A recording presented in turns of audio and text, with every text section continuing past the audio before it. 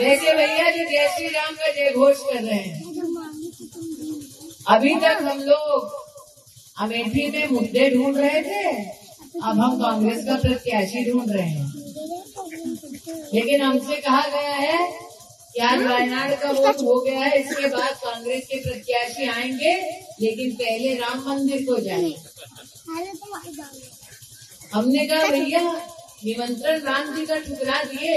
अब मंदिर जाएँगे क्योंकि उनको लगता है मंदिर जाने से वोट पाए मतलब कि मतलब कि भगवान को भी धोखा देने जाए इसीलिए आज कहती हूँ कि जो इंसान को रिझाने के लिए भगवान से छल कर दे वो हम सबका क्या ठाक हो पाएगा?